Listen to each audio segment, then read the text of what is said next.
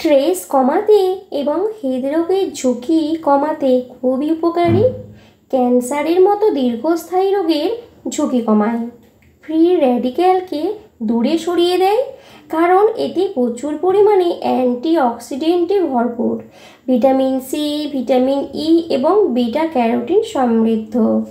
তাহলে বুঝতে পারছেন তো পেঁপে খাওয়া কতটা উপকারী?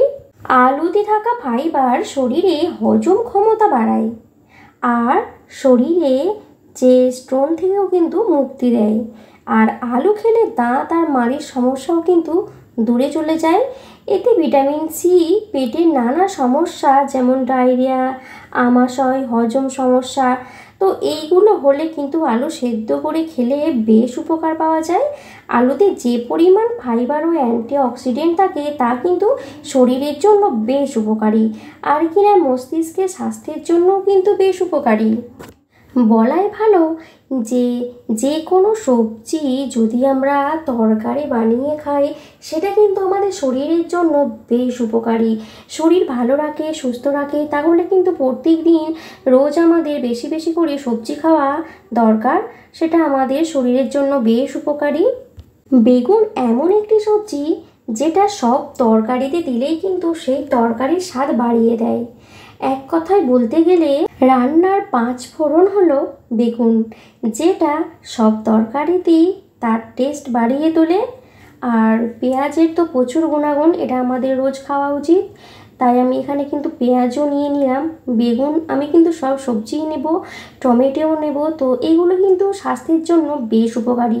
এইসব জিনিস যদি আমরা ঠিকভাবে খাই, একদম বেশি তেল মশলা দিয়ে নয়, একদম কম তেল মশলায় যদি আমরা খাই, আর বেগুন, পটল, আলু সবেরই কিন্তু প্রচুর গুণাগুণ। প্রত্যেক দিন কিন্তু বেশি বেশি করে আমাদের কিন্তু সবজি খাওয়া উচিত। সবজি খেলে শরীর ভালো থাকে। সুস্থও থাকে সেই জন্য কিন্তু আমাদেরকে নিয়মিত সবজি খেতে হবে। টমেটোরও কিন্তু প্রচুর গুণাগুণ, টমেটো দারুণ উপকারী। আমরা তো না জেনে সময় খাই তরকারিতে স্বাদ বাড়ানোর জন্য, এর কিন্তু প্রচুর গুণাগুণ। হার্ট ভালো রাখে আর ডায়াবেটিস নিয়ন্ত্রণে রাখে আর ক্যান্সার দূরে সরিয়ে রাখে, রোগ প্রতিরোধ ক্ষমতা বাড়ায় আর কোষ্ঠকাঠিন্য কিন্তু দূর করে এই টমেটো। তো টমেটো খাওয়া কিন্তু স্বাস্থ্যের জন্য বেশ উপকারী। কিন্তু অনেকেরই কিন্তু অ্যালার্জি আছে, তো তারা কিন্তু ভুলেও খাবেন না। যেই জিনিসটাতে অ্যালার্জি, আমাদেরকে কিন্তু সেই জিনিসটা বাদ দিয়েই খেতে হয়। কি দরকার আছে সেই জিনিসটা খেয়ে নিজের শরীর খারাপ করার জন্য? তো টেস্টের দরকার নেই। টমেটো ছাড়াও কিন্তু তরকারি দারুণ সুন্দর হয়। আমি এখানে নিত্য নতুন রান্না, আমি এখানে ভিডিও দিই রান্নার। তো চাইলে কিন্তু দেখতে পারেন টমেটো ছাড়াও কিন্তু রান্না হয়। আপনি এরকমভাবে টমেটো ছাড়াই করতে পারেন, দারুণ টেস্ট হবে। প্রথমে আমি পেঁপে, আলু, পেঁয়াজ, খোসা ছাড়িয়ে টুকরো টুকরো করে নিয়েছি, আর পেঁয়াজও আমি কুচিয়ে নিয়েছি। আর পটল, বেগুন, টমেটো এগুলো ধুয়ে আমি টুকরো টুকরো করে নিয়েছি। আর মাছের ঝোলের মতো কেটে নিয়েছি। সব সবজিগুলো কিন্তু আমি ধুয়ে নেব। একটা প্রেশার কুকার নিয়ে নেব, তাতে আলু, পেঁয়াজ, বেগুন, পেঁয়াজ কুচি, পটল, টমেটো সব সবজি দিয়ে, আর সামান্য হলুদ গুঁড়ো, সামান্য লঙ্কা গুঁড়ো, স্বাদ মতো নুন আর ইলিশ মাছ দিয়ে দেবো। যটা বানাবেন তটা। আর পরিমাণ মতো জল দিয়ে দুই থেকে তিনটে কিন্তু আমি সিটি মেরে নেব। আর এ থেকে কিন্তু তেল ছাড়বে। দেখছেন তো কত সুন্দর লাগছে? তো এটা থেকে তেল ছাড়বে। তেল দেওয়ার কিন্তু প্রয়োজন নেই বিনা তেলে কিন্তু খুব সুন্দর একটা রান্না করতে পারবেন। আর এরপরে আমি ফোড়ন দেব। তো ফোড়নের জন্য একটা কড়া নিয়ে নেব। কড়াটা গ্যাসে গরম করে নেব খুব ভালোভাবে। গরম করার পরে শুকনো লঙ্কা আর গোটা জিরে আমি দিয়ে দেবো। আর এটা নাড়াচাড়া করব একদম যখন মানে ফুটবে জিরেগুলো, বুঝতেই পারছেন যে ভাজা ভাজা হয়ে যাচ্ছে, একটা সুন্দর গন্ধ বেরোবে, তখন কিন্তু সেদ্ধ করা এই সবজি মাছগুলো আমি দিয়ে দেবো। আর ফুটে গেলে কিন্তু নামিয়ে নিলেই তৈরি হয়ে যাবে বিনা তেলে ইলিশ বেগুন সবজি দিয়ে।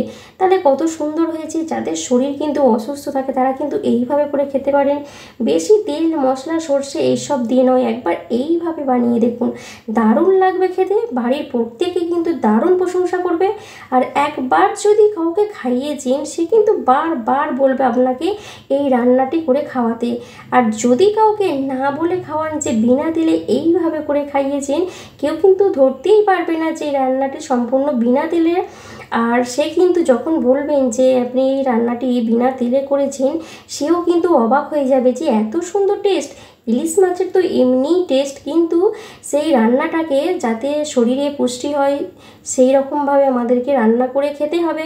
তো ভিডিওটি যদি ভালো লেগে থাকে, তাহলে প্রচুর পরিমাণে বন্ধুদের সঙ্গে শেয়ার করে দেবে আজকের মতো এতটাই। ভালো থাকবেন, সুস্থ থাকবেন। আবার দেখা হবে নতুন কোনো ভিডিওতে।